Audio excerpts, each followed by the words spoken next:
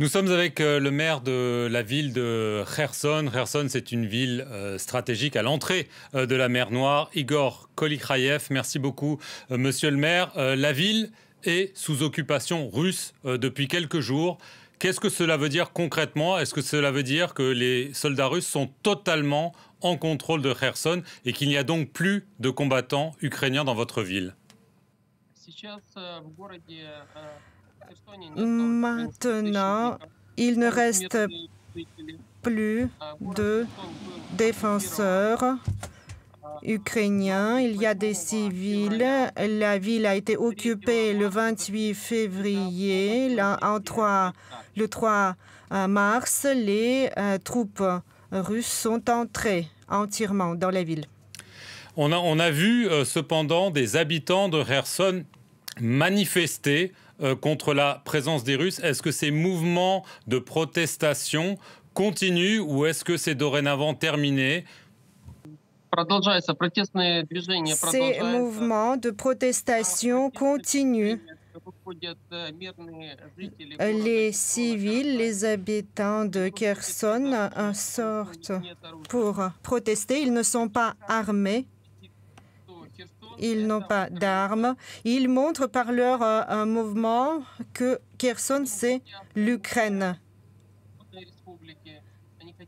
Ils euh, veulent euh, rester dans la ville ukrainienne, en Ukraine, et non pas dans une autre république. Est-ce que vous craignez que, du coup, les forces russes qui contrôlent votre ville vont réprimer brutalement ces mouvements?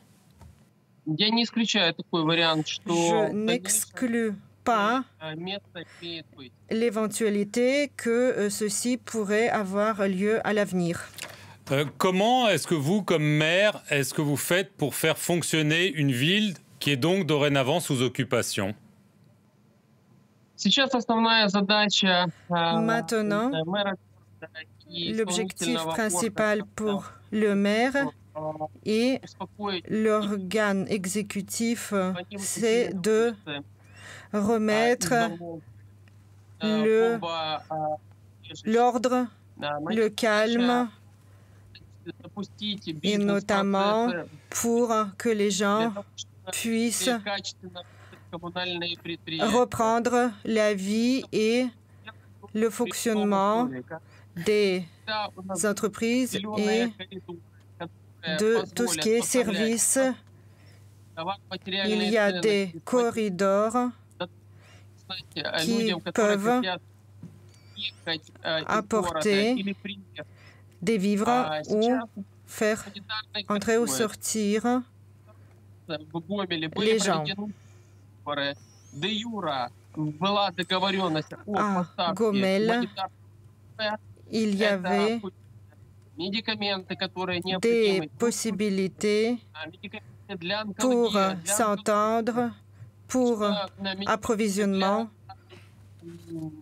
de vivres, de médicaments pour tous ceux qui habitent à Kherson pour approvisionner des vivres, car il reste maximum euh, de quatre jours de vivres, quatre jours euh, pour tenir du point de vue alimentaire. Est-ce que vous avez été euh, menacé euh, par euh, les Russes si jamais vous continuez à vous opposer à leur présence? Est-ce que vous avez subi des menaces? Vous savez, la menace russe persiste dans la totalité de notre pays et comme Kherson est une ville ukrainienne, Kherson ressent cette menace. Le corridor pour les euh, départ des réfugiés, euh, les réfugiés pourraient être plus de 100 000 pour quitter Kherson. Alors on sait qu'en parlant de corridor humanitaire, il y a eu des tentatives dans la ville de Mariupol, euh, mais que ça, elles ont échoué euh, d'après les autorités ukrainiennes parce que ces corridors ont été visés par les forces russes. Est-ce que vous, pour Kherson, vous craignez la même chose ou est-ce que vous espérez que les civils vont pouvoir être évacués? J'espère que les civils pourront être évacués car il s'agit d'assurer la sécurité des gens. La ville de Kherson est une ville pacifique et les habitants de Kherson sont pacifiques. Est-ce que euh, vous seriez prêt à accepter euh, une aide humanitaire, mais du côté russe?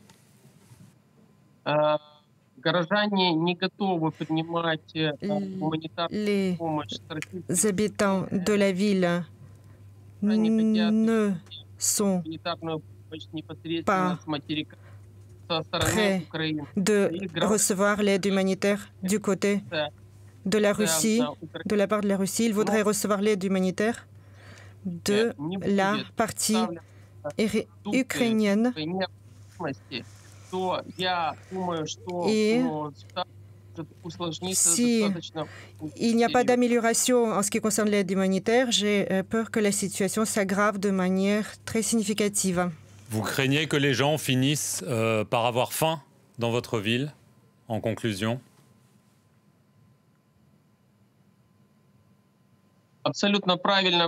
Tout à fait. Tout à fait. Et c'est probable que les gens aient faim. Je vois ce qui se passe, c'est la région agricole en plus, où il devrait y avoir des semis dans les jours qui viennent, dans les 15 jours qui viennent, ça devait commencer. Si le conflit n'est pas réglé, si les hostilités continuent, les semis euh, seront euh, mis en péril et compromis. Et par la suite, cela représente un autre défi pour l'Ukraine car il n'y aura pas de denrées alimentaires en 2022. Igor Kolikhaev, euh, je vous remercie beaucoup d'avoir témoigné euh, sur France 24 de la situation euh, dans la ville de Kherson au bord de la mer Noire. Merci beaucoup.